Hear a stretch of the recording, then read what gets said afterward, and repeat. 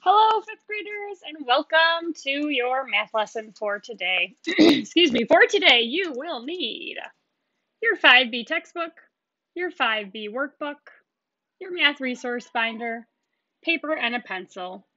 If you need to pause and go get those things, please do so now, and then come on back and we'll get started.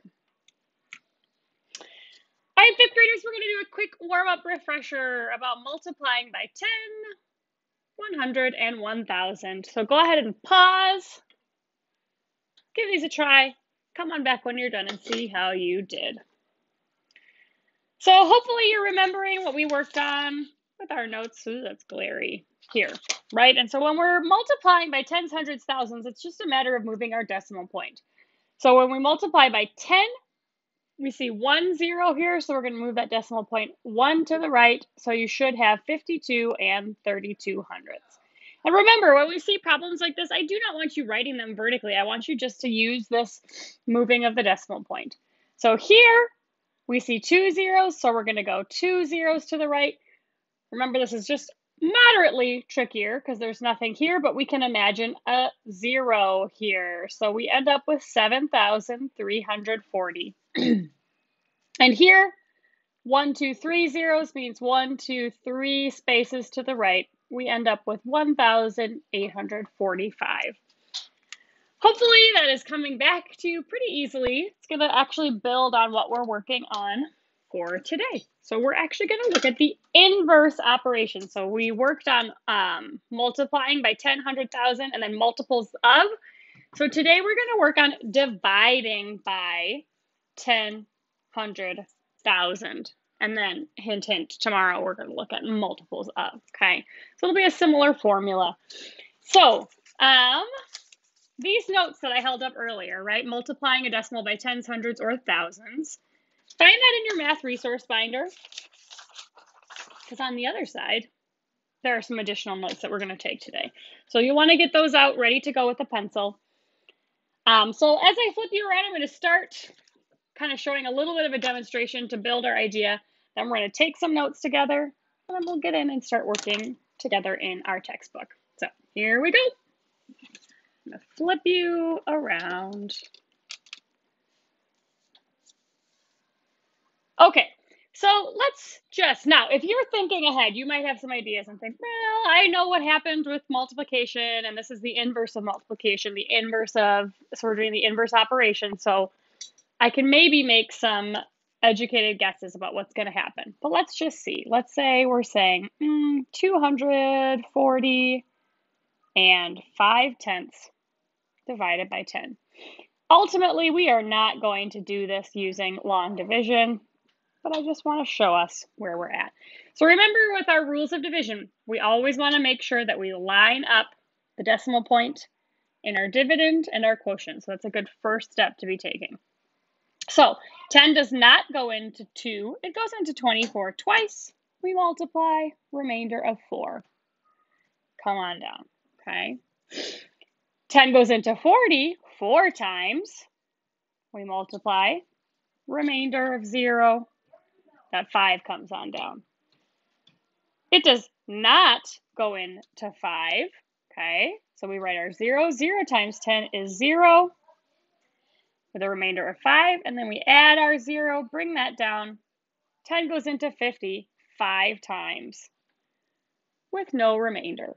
So as we look at these, we see that 240 divided by 5 equals 24 and 5 tenths. Do you notice any, sorry, 5 hundredths, excuse me, do you notice anything comparing these two? It looks like we move that decimal point one space to the left. Was anybody thinking that? As I kind of hinted that maybe you have some ideas, some educated guesses that when we divide by 10, we go one space to the left. Should we try another one and see if that still proves to be true with another example? What if we do, I don't know, 3 and 5 tenths divided by 10? So again, we're testing this theory. When we divide by 10, do we move the decimal point one space to the left? So 10 does not go into 3.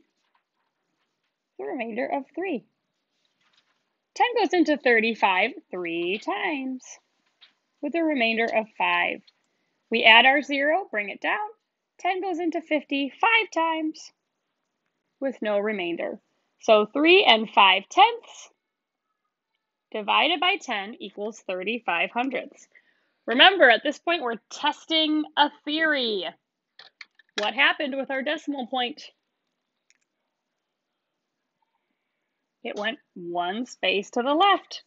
So if you are thinking that when we divide by 10, we go one space to the left, I think that we've proven that that's true. So let's think. Remember that our objective here is not just dividing by 10, but is also by dividing by 100. So let's say 532 and 4 tenths divided by 100. What do we predict is going to happen with our decimal point when we divide by 100?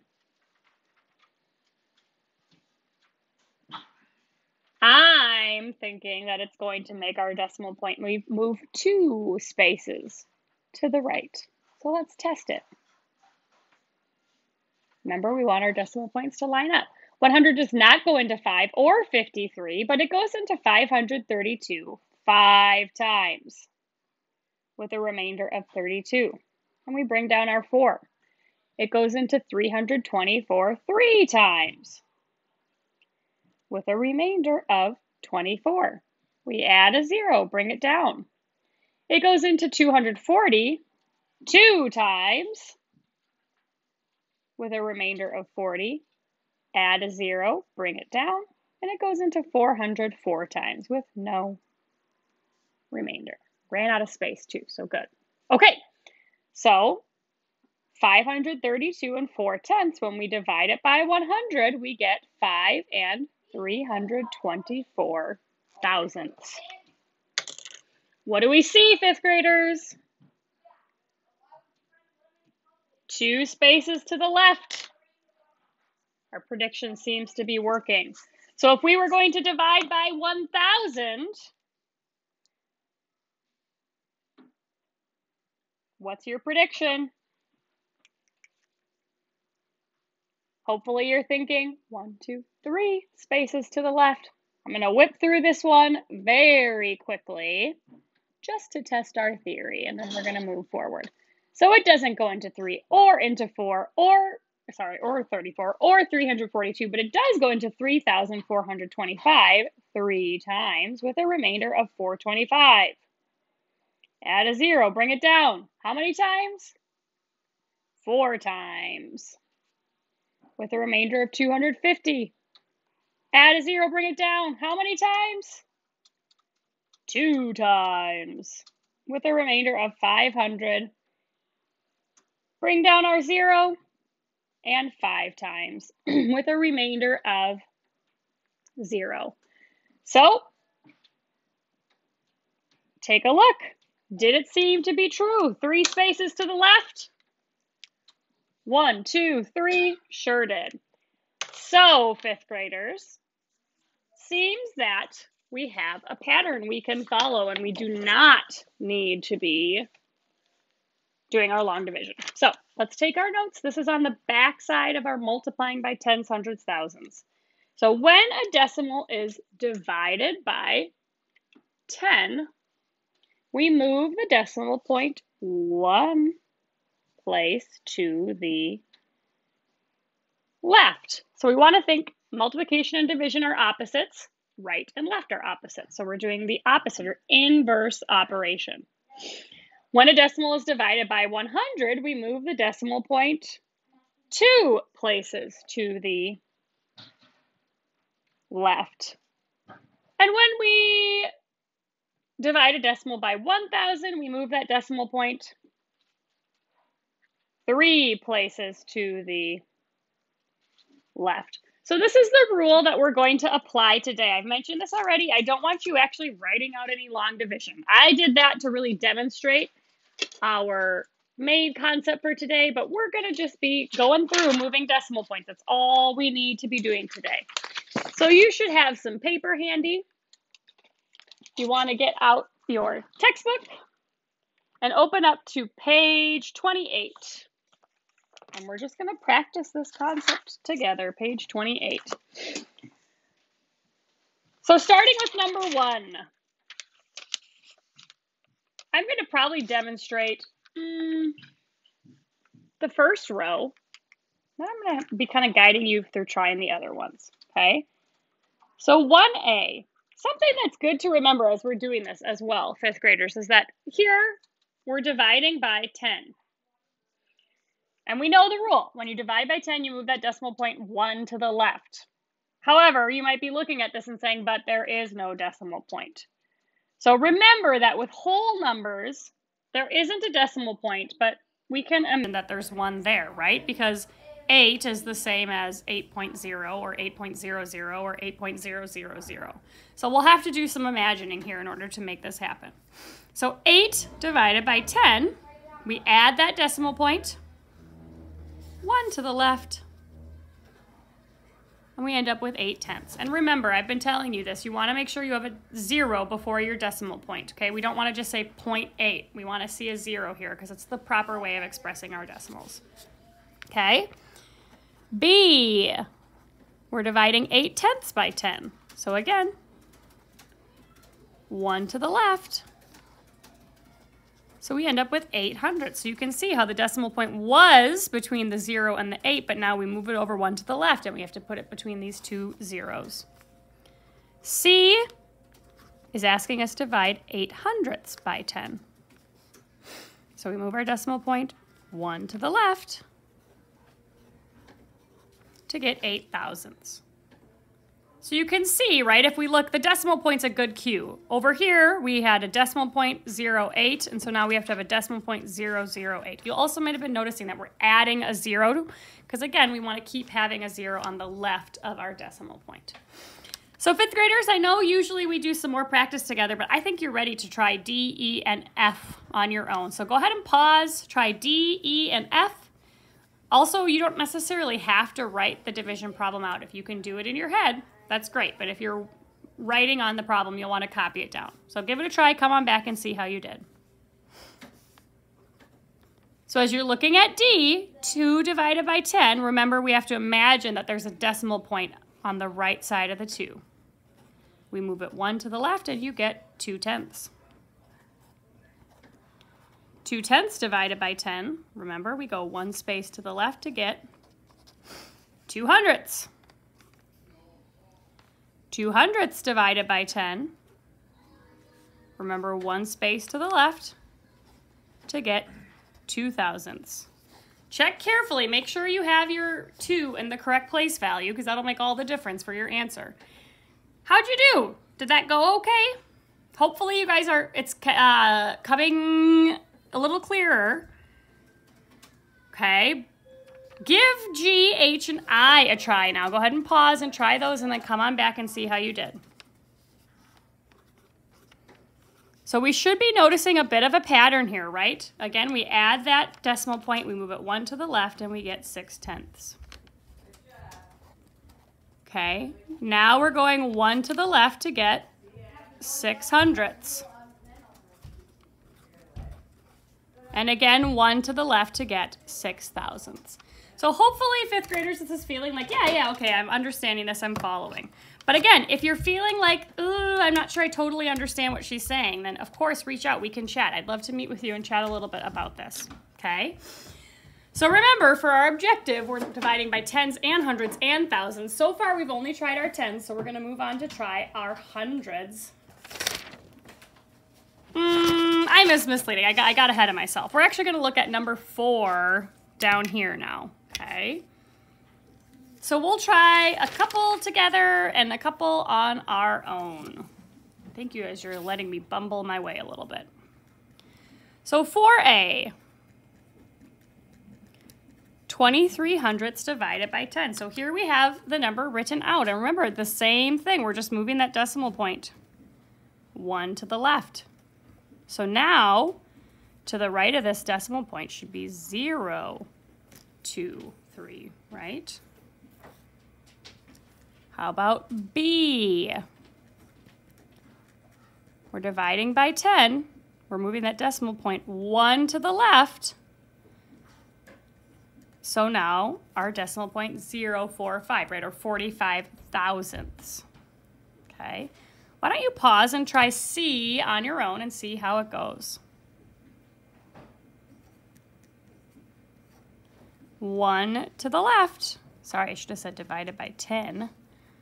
So you get 12 thousandths, or decimal point 012. Good.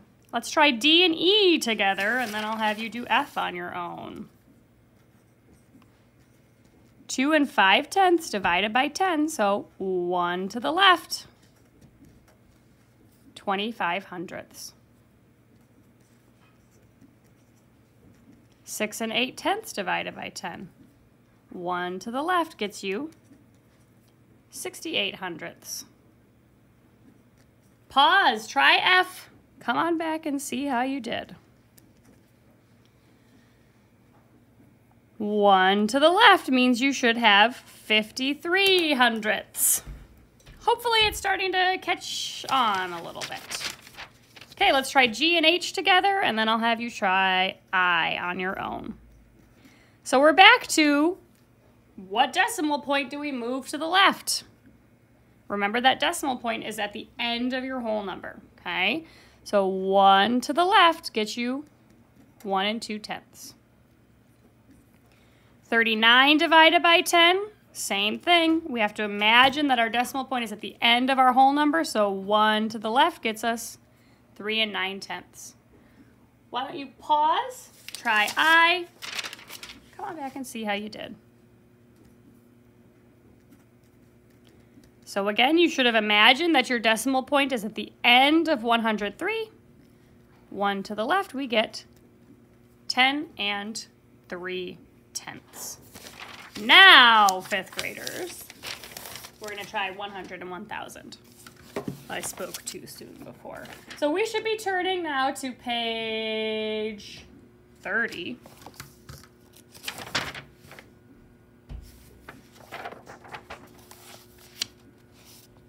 And this is going to go a bit quicker because hopefully the concept is a little bit more secure at this point.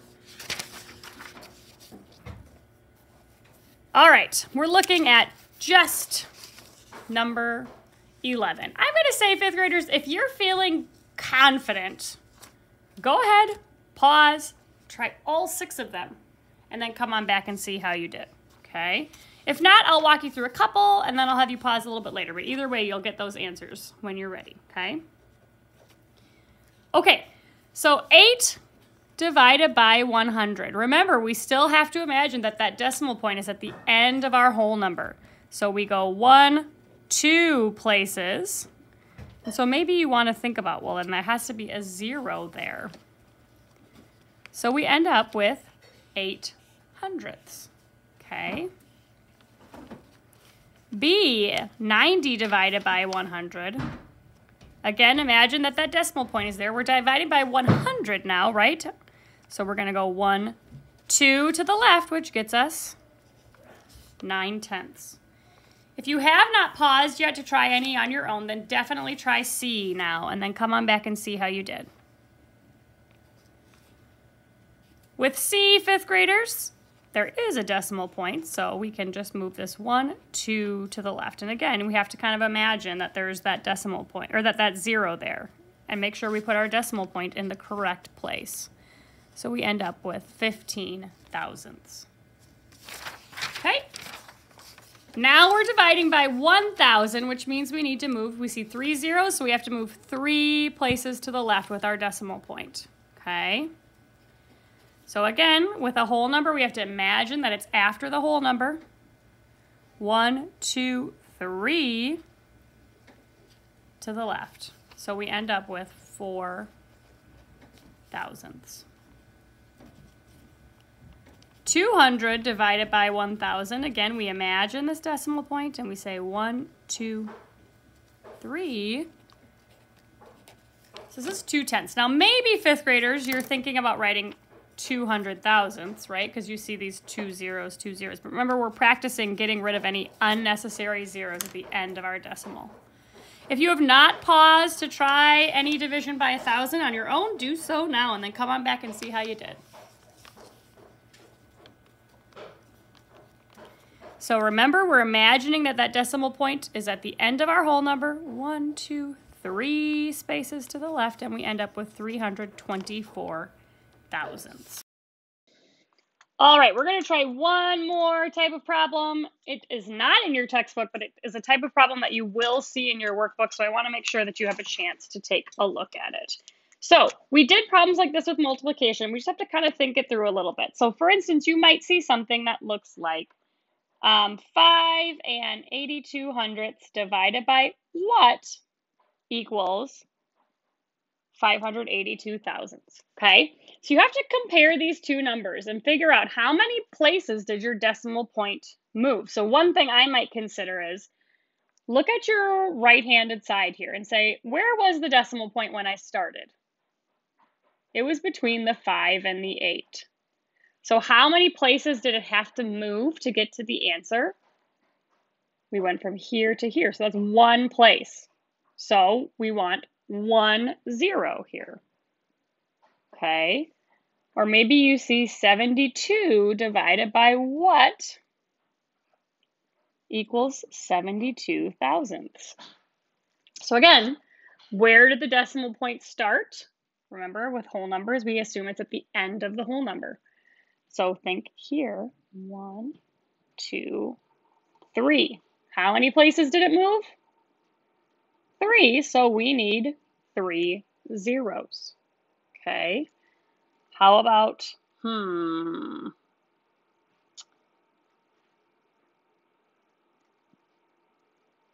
five and eighteen hundredths divided by what? I'm gonna make this hard on you, but it's you could do it equals uh, 518 ten thousandths. So again, where did the decimal point start? Here, one, two. So two zeros in our answer, okay? 700 divided by what equals 7 tenths.